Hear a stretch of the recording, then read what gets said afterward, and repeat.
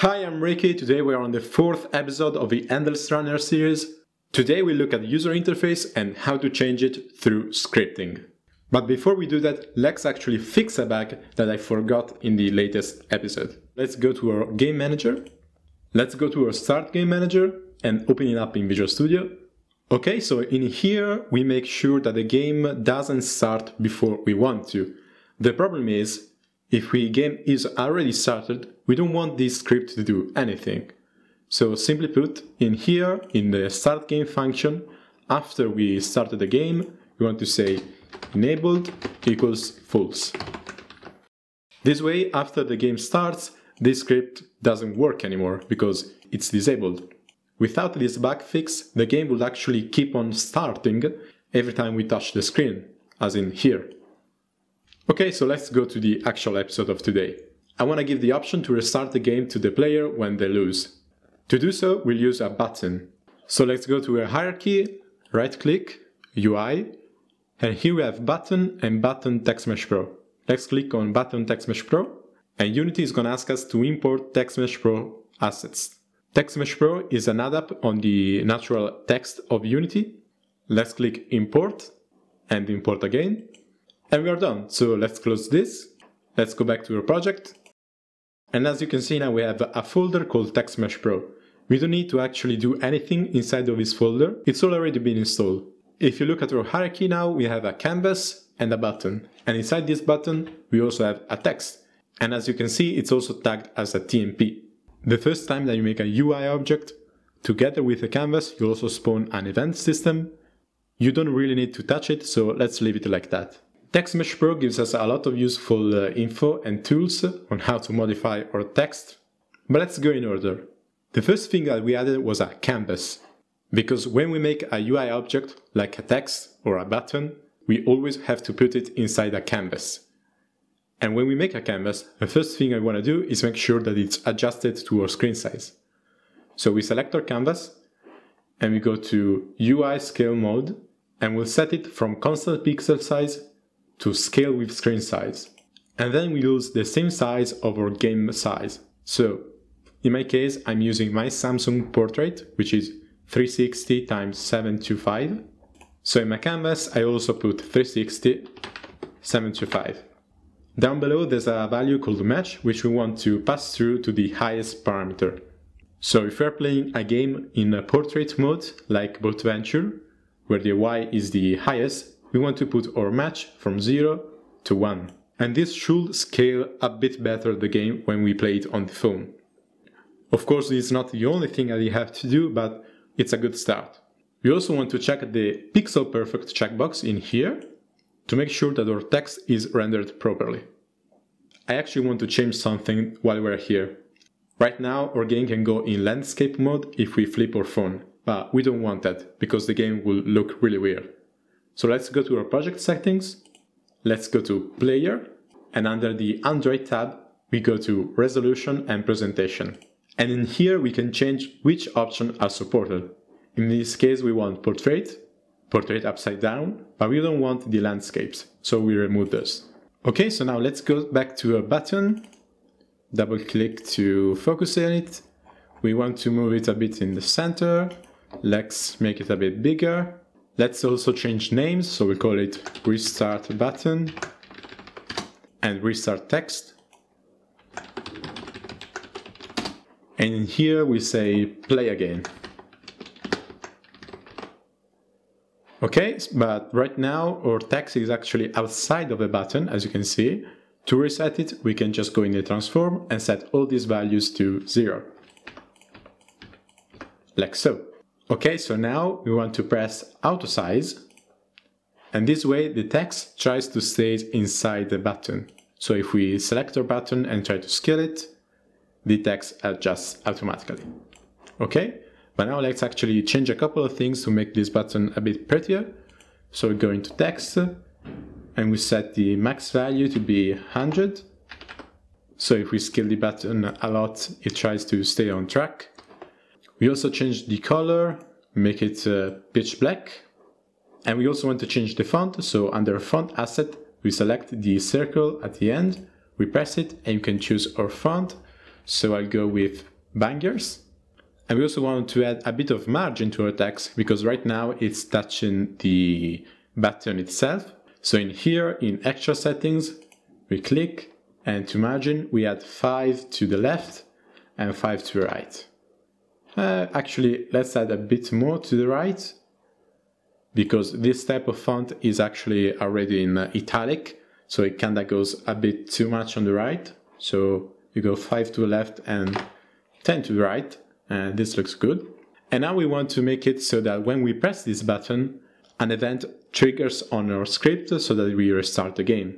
Before we do that, let's actually add another text. So we go to Canvas, Text, Text Mesh Pro, and we call it You Lost Text. And we move this here. We say You Lost. We change it to a good font. We'll align it in the center. We'll put it in auto size. And we'll increase the size a bit. So like so. Then we can also change back to the X to zero, so in the center. Okay, so now we want to do something called anchoring. Anchoring means putting the starting position of something to a specific location. In this case, we want the anchoring position of our you lost text to be at the top, because it's the closest starting point. We want to anchor our UI because if we play on a different size, if we play on a different resolution, then our UI can adjust to fit that specific size. Okay, to, to anchor, it's really simple. We just go to this box right here, we open, and we select which position we want to specify. In this case, the top center. Okay, and if we go back to a restart button, we'll center the position. And in this case, since the button is in the center position, we'll just leave the anchor to be in the center. Okay, so now we want this text and this button to appear when we lose. To do so, we'll group these two objects inside a panel. So we go to Canvas, New, UI, Panel. A panel is an object that is usually used in UI to group different pieces together. In this case, we want to piece our restart button and our you lost text. So just select these two and we'll put them inside. And as you can see, at the moment that we put them together, the button and the text appear on top of the panel. So the panel won't interfere with our clicking or touching. Let's rename our panel to be Game Over Panel. And now we can just disable or enable this panel when we lose. Also, panels don't anchor to a point, they stretch. Because we want this panel to occupy the entirety of the screen. So in here, as you can see, the anchor point is set to stretch on every angle we don't actually have to change anything. Okay, so let's go back to our game manager. Let's go to finish game manager. And in here, we want a reference to our panel. To do that, we can just use game object. So let's write serialized field, private, game object, game over panel. And when we finish the game, we want to enable this panel. So game over panel dot set active true. Let's go back to Unity and let's link our game over panel in here. Okay, so now we want to make it so that if we press this button, the game restarts. To do so, let's go back to our finish game manager and let's make a new function. So we'll write public void restart game. And to link this function to the button, it's really simple. We just go back to Unity, we select our button, we go down, and here on click event, list is empty, we want to make a new event, we link our game manager, and we'll say finish game manager, restart game. Make sure that our function is public, otherwise you won't be able to see it in this event list. Okay, and in here we want to add the logic to restart the game.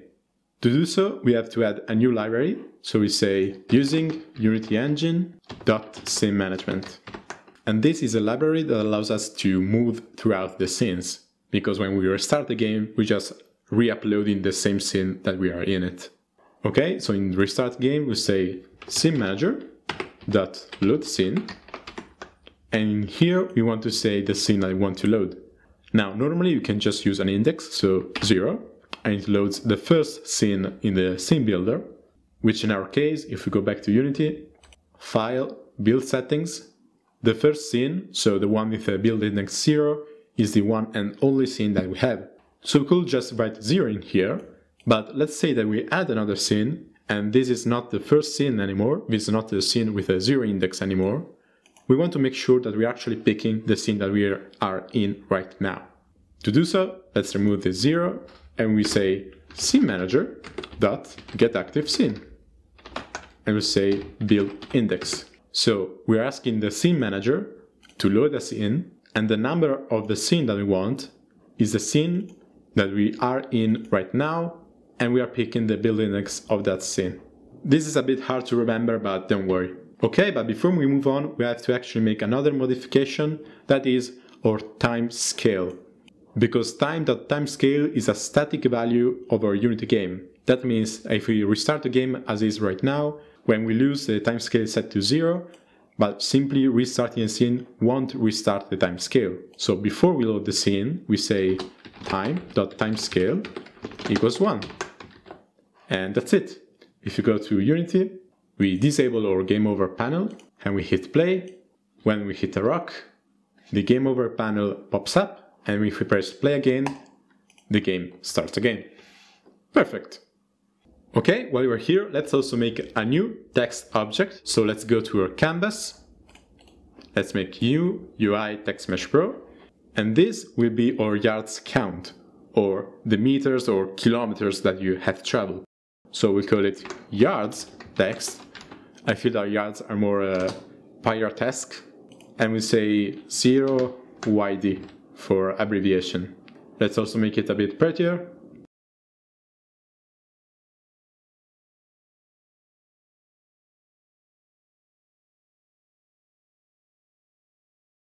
Okay, don't forget to anchor it on the top. And now we want to make a new script and we call it yards manager. Okay, and before we open it, let's actually make a bit of organization in here. Okay, and let's go to Visual Studio.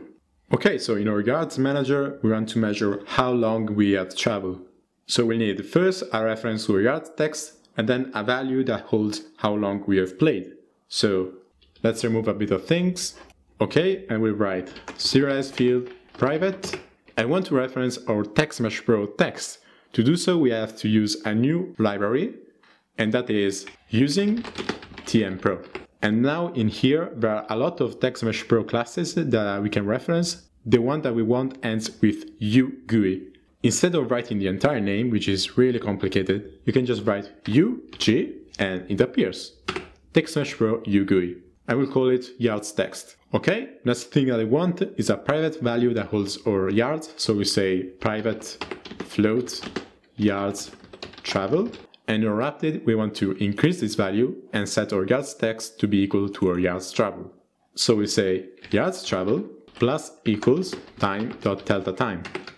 And then yards text dot text equals and with dot text we're actually modifying the text of the UGUI and we say yards traveled plus YD as in yards abbreviated. Okay, and if we go back to Unity, let's add our yards manager script and let's link our UGUI.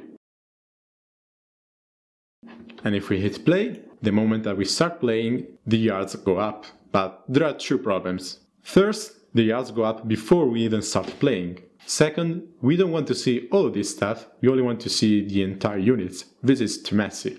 Okay, so to fix the decimal point problem, it's really easy. We just want to cast this value from float to integer. So we write parentheses int. This way, we're not modifying the value, we're just reading it in another data type. We want to have it float because we're adding it to time.delta which uses decimal point, but we want to read it only with entire numbers. The other problem is making sure that the yards go up only when we're actually playing. To do so, let's make a new value. I will call it private bool is traveling. And your update will say if it's not traveling, return. So if, your if this value is false, then this code won't be executed because we are returning the function.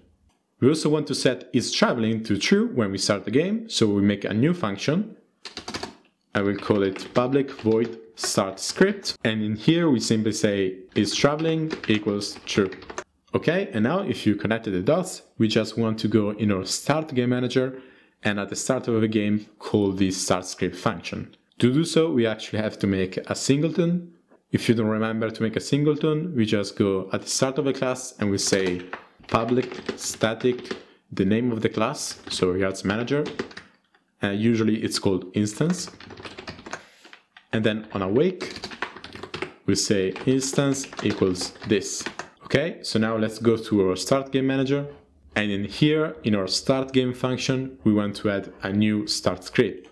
So we say yards manager dot instance dot start script. And if we go back to Unity and we hit play, as you can see the yards don't move, but if we press play, it starts going up. And if we hit a rock, the yards stop going up because if the time is zero, time dot delta time is also zero, and if you play again, we can play again. Another slight problem though is that our yards are actually going really really slow. To fix this, we can actually just go in our yards manager script and instead of just adding time.delta time to our yards travel, we can say time.delta times times 5. Okay, and if we save and hit play, okay, much better. You can of course adjust the speed at which time.delta time is multiplied to make the game uh, feel faster or slower to, for the score, making it so that the time.delta time is multiplied by a smaller value makes it harder to reach a certain uh, yard score, but it's your own choice. Okay, so thank you for watching. In the next episode, we'll look at high score, how to make save files, and also how to add score to our player. If you have any doubts, tell me in the comments and I'll see you in the next episode.